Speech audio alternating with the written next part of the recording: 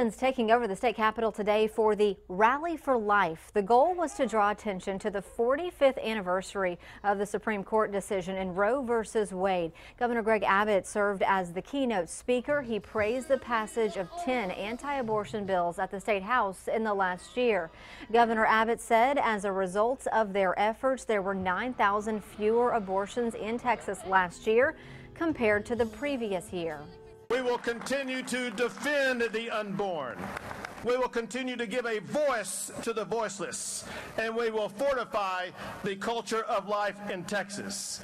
Working together, we will keep Texas the most pro-life state in the United States of America, and we will give every child a chance at life. Governor Abbott says he will continue to work to defund Planned Parenthood. A smaller counter protest was also held. These folks showing up with signs and several wore handmaids robes. The rally did remain peaceful and no arrests were made.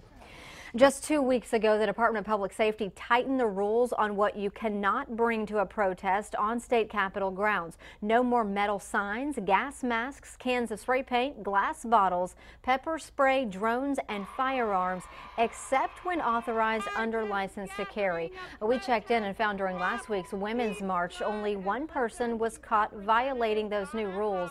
They were wearing a helmet and left when asked. We will check in this week to see if any other violations happened today.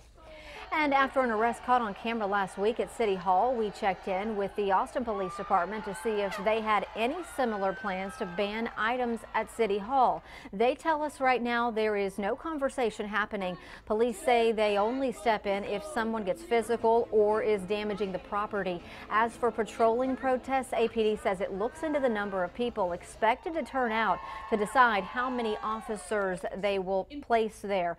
Every officer is trained for these situations situations. And in 1999, Austin Police formed a special response team.